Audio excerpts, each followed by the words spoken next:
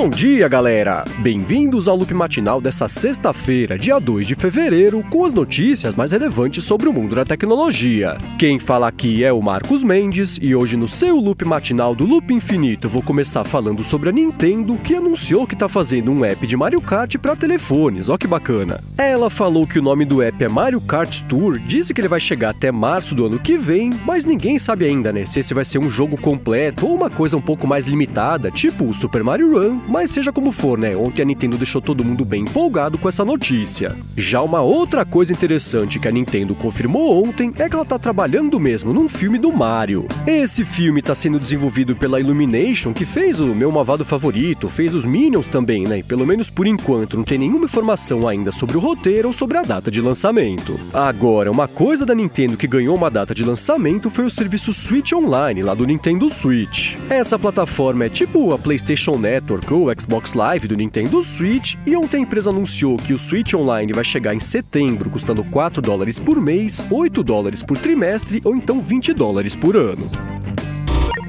Bom, e agora eu vou falar rapidinho sobre a plataforma de streaming de música Pandora, que anunciou que vai demitir 5% do quadro de funcionários. Isso faz parte de uma reestruturação que a empresa falou que deve gerar uma economia de coisa de 45 milhões de dólares por ano, e além das demissões, ela também vai reorganizar lá um pouco a operação, dando mais ênfase né, na retenção de usuários na divisão de publicidade. E enquanto isso, na Microsoft, a empresa divulgou os resultados financeiros do trimestre fiscal mais recente. Ela faturou 28,9 bilhões de dólares, aumento de 12% ano sobre ano, mas ainda assim ela terminou o período com prejuízo de 6,3 bilhões de dólares por conta de um reajuste fiscal, né, que obrigou a empresa a desembolsar 13 bilhões de dólares. No relatório, ela mostrou que a divisão Azure cresceu 98%, enquanto a divisão do Windows cresceu 4% e a divisão do Surface cresceu só 1%. Agora, quando o assunto foi grana, ela falou que as soluções de produtividade renderam quase 9 bilhões de dólares, aumento de 12% ano sobre ano, os produtos de nuvem geraram 7,8 bilhões, 15% a mais ano sobre ano, e a parte de computação pessoal faturou 12,2 bilhões de dólares, aumento de 2% ano sobre ano. Bom, e agora eu vou falar sobre o Telegram que foi removido lá da App Store durante algumas horas ontem. E isso aconteceu tanto com o Telegram normal quanto com aquele Telegram 10 ou Telegram X, né, que é uma versão um pouco mais moderna do aplicativo. E comentando a coisa toda, o CEO Pavel Durov, né, que é o CEO do Telegram, foi meio evasivo. Ele disse que a Apple sinalizou para a empresa que tinham lá uns conteúdos inapropriados sendo veiculados no aplicativo, e aí o Telegram tirou a coisa toda do ar, resolveu o problema e colocou os apps de volta lá na App Store na metade da tarde. E enquanto isso, nos bastidores do mercado, pintou o anúncio de que a Qualcomm e a Samsung conseguiram acabar com uma disputa envolvendo o licenciamento de patente de processadores. O que estava rolando não era exatamente um processo, né, mas sim uma investigação lá que a Comissão de Mercado da Coreia do Sul tinha aberto contra a Qualcomm, e aí quando a Qualcomm tentou entrar com um recurso, a Samsung entrou com outro recurso, tentando bloquear o recurso da Qualcomm. Mó confusão. Eis que agora as duas empresas pararam para conversar né, e anunciaram que fizeram as pazes e a Samsung retirou esse pedido de bloqueio bloqueio do recurso da Qualcomm. Agora, ainda sobre a Qualcomm, tô falando bastante Qualcomm, né? A empresa anunciou os resultados financeiros do último trimestre. Ela teve um faturamento de quase 6,1 bilhões de dólares, aumento de 1% ano sobre ano, mas ela fechou o período com lucro zero, né? O que representou uma queda de 96% ano sobre ano. Isso aconteceu porque ela teve que pagar 6 bilhões de dólares por conta do reajuste fiscal dos Estados Unidos e ela também ficou sem receber dinheiro de royalties, né? Da Apple, de outras empresas também por conta dos processos que estão rolando ao redor do mundo. E agora o assunto é o YouTube que está lançando, finalmente, né? Tá lançando oficialmente o YouTube Go em 130 países, o que inclui o Brasil, mas eu não consegui confirmar se inclui Portugal. Mas imagino que sim, né? 130 países tem que estar tá lá também. Esse app só está disponível para Android e é aquele aplicativo que deixa o pessoal baixar os vídeos para ver depois, mesmo que esteja sem conexão. Já uma outra coisa legal é que o app deixa o pessoal mandar, né, compartilhar lá os vídeos baixados para outros celulares por Bluetooth, mas a empresa lembrou que não dá para baixar clipes ou vídeos de música músicas por conta de direitos autorais e outros enroscos de burocracia. E agora eu vou falar sobre o Slack que resolveu acabar com a versão que era específica para o Apple Watch. Eles disseram, basicamente, que o aplicativo para o Apple Watch não fazia mais sentido porque o app de iOS é bem completo, mas lembraram que isso não impede né, o pessoal de receber notificações no relógio porque esse é um serviço separado. E ainda sobre recursos que sumiram, deixa eu comentar que o app da Uber para iOS removeu a integração com a Siri e com o Apple Maps. Em especial, essa integração aí com a Siri tinha desde o iOS 10 e era bem útil, né? Porque deixava a pessoa pedir lá um carro sem ter que abrir o aplicativo, mas por algum motivo a Uber removeu essas integrações e pelo menos por enquanto não quis explicar o motivo. E por fim, sobre mudanças negativas, deixa eu comentar que o eBay anunciou que pretende parar de usar o PayPal como modo preferencial de pagamentos lá no site. Esse anúncio pegou todo mundo de surpresa, né? Já que eBay e PayPal inclusive era uma coisa só até 2015, mas ontem a empresa anunciou que vai fazer essa mudança e esclareceu que pelo menos até 2023, que é quando acaba o contrato, o PayPal vai continuar sendo aceito numa boa, só vai deixar de ser o pagamento preferencial.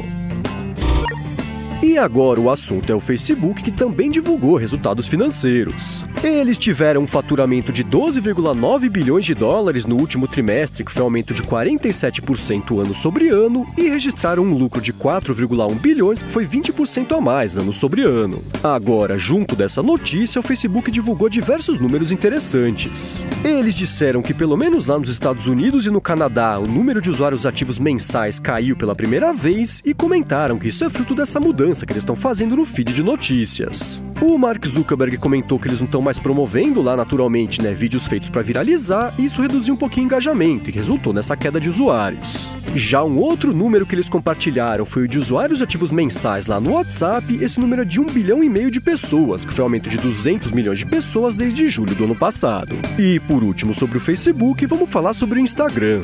Eles anunciaram que logo logo os anunciantes vão poder publicar carrosséis de até três fotos e vídeos seguidos, né, lá nas Instagram Stories, removendo esse limite que tem hoje, que é de uma story por anúncio. Já uma coisa bacana que eles anunciaram no Instagram foi o lançamento oficial daquele modo de postagem só de texto nas Instagram Stories, e a novidade vai chegar aos poucos para todo mundo nos próximos dias.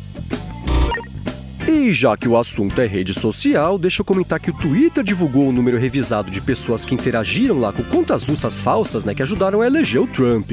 Inicialmente, o Twitter tinha dito que o número de usuários atingidos era de 677 mil, mas agora eles mais do que dobraram esse número e falaram que na realidade isso aí tá mais na casa de 1 milhão e 400 mil usuários. O Twitter disse que já avisou essa galera toda que retweetou, né, ou curtiu, seguiu, compartilhou essas notícias falsas e comentou que segue investigando para tentar identificar tiveram mais interações desse tipo lá na rede.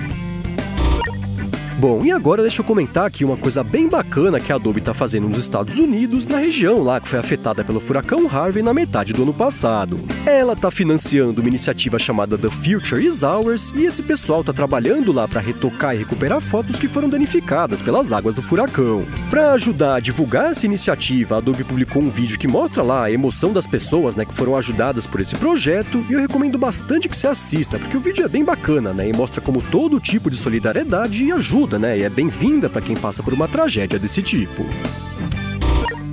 E agora eu vou falar sobre a Apple, que parou de validar o downgrade do iOS para versões anteriores a 11.2.5. Geralmente ela faz isso quando ela sabe que a versão atual tá estável o suficiente e basicamente se impede que a galera vá lá para uma versão menos segura ou até que possibilite o jailbreak. E ainda sobre a Apple e fechando a semana, deixa eu comentar que ela também divulgou os resultados financeiros do último trimestre fiscal. Ela teve um faturamento de 88,3 bilhões de dólares, que foi um recorde histórico para a empresa e foi um aumento de quase 13% ano sobre ano. Já o lucro líquido ficou na casa de 20 bilhões, que também foi um recorde, foi um aumento de 12% ano sobre ano. Durante o trimestre, ela vendeu 77 milhões de iPhones, que foi uma queda de 1,25% ano sobre ano, mas que por conta lá do preço do iPhone 10, o faturamento foi maior, né? Foi de 61 bilhões e meio, 13% a mais ano sobre ano. Já a divisão de iPads vendeu 13,1 milhões de unidades, né? Aumento de pouco mais de 0,5% ano sobre ano, mas conseguiu aumentar o lucro em quase 6%, tendo faturado 5,8 bilhões de dólares. Enquanto isso, a divisão de Macs vendeu 5,1 milhões de unidades, queda de quase 5% ano sobre ano, e faturou quase 7 bilhões de dólares, que também foi uma queda de 4,8%.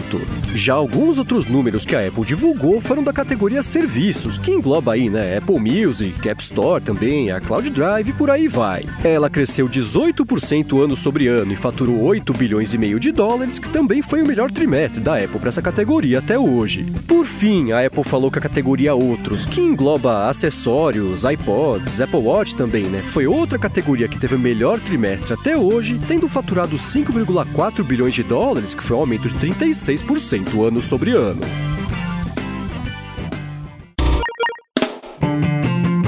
Isso aí, galera. O Loop Matinal do Loop Infinito vai ficando por aqui. Se você quiser se inscrever no canal do Loop Infinito no YouTube, o link tá aqui na descrição do episódio, lá no loopmatinal.com, junto com os links das notícias que eu comentei hoje. Já se você quiser falar comigo no Twitter, procura por MVC Mendes que eu tô sempre por lá. Obrigado pela audiência, bom fim de semana e eu volto na segunda de manhã.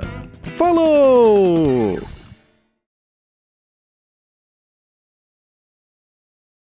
Para pedir lá um carro sem ter que abrir o, abrir o aplicativo e registrar um lucro de quase de quase 1,1, o que, que é isso?